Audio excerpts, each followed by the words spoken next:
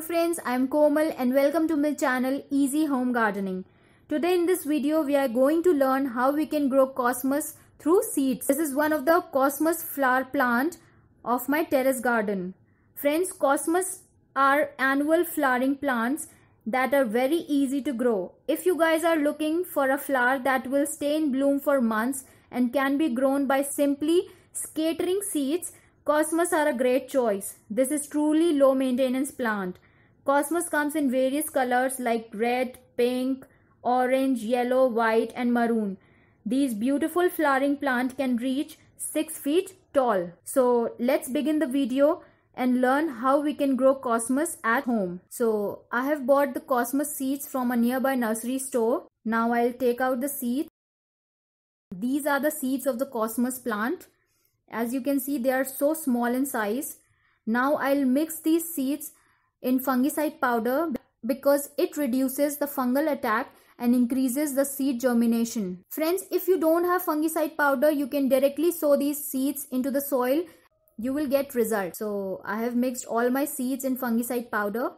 Now what you need to do, just remove the upper layer of the soil and then Sprinkle the seeds all around the pot and cover the seeds with very thin layer of soil. In this pot, I have taken 50% garden soil and 50% coco peat. Now water the pot and make sure your pot has well drainage system. Now I'll keep this pot in a shady area for until I see some seed germination. I'm covering this pot with plastic sheet because it will keep my seeds safe and will increase moisture and humidity which will help in seed germination.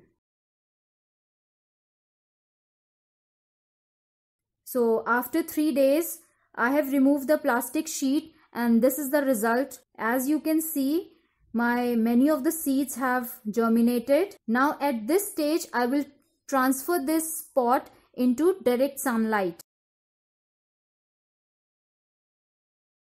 So friends, this is the result which uh, I got after 20 days. And at this stage, you can transplant the plants into individual pots.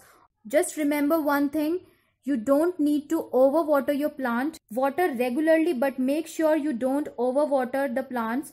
Overwatering and, and over-fertilizing cosmos plants can lead to fewer flowering as cosmos don't need any special soil preparation. In fact, they like soil that is not too rich.